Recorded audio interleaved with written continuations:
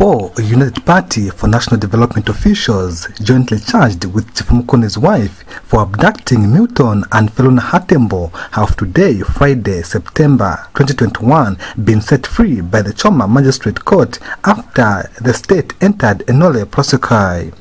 This is in a case where 46-year-old Choma businessman Fines Malambo was jointly charged with Ackson Sejani, aged 63, Vincent Lilanda, the mayor of Mazabuka, Choma mayor Javen Simoloka, aged 45, and Veronica Manakasale, Chief Mukuni's wife. The five accused persons stood charged with two counts of abduction with intent to confine contrary to the laws of Zambia, of which they pleaded not guilty. When they appeared before Choma Magistrate Court for trial early this morning, the court heard that the state had entered a nolle prosequi. Speaking after the court hearing, here is what Chief Mukuni's wife and Ackson Sejani had to say. Uh, I still feel it wasn't the, the fairest of them all. An acquittal would have been the best, yes, because this is an issue that everybody knows it was just lumped on us.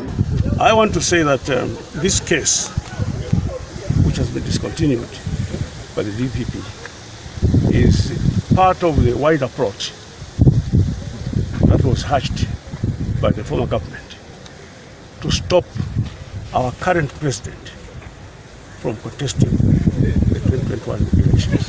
And the defendant's lawyer, Marshall Muchende, also spoke. On the treason case involving our president, you know it. It took her four months to come and enter a nolle prosequi when she could have advised the police that there's no case here. Even this case for uh, Sejani and uh, Queen Mukuni and the colleagues, DPP knows it. The police officers know it. There's no case. There's never been a case. This was political persecution to capture, to hamstrung, to make it difficult for HH to have foot soldiers. This is a democracy. Further, this is a case that produced drama in the aftermath of the accused appearance before court in Choma on 23rd April 2021 as UPND supporters ran battles with the police.